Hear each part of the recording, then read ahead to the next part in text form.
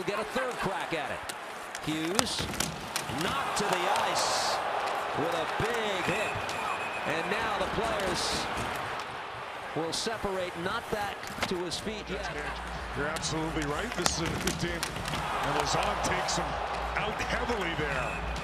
Yeah, Soucy came into the play. That was his partner. But it was Lauzon. He's a big man.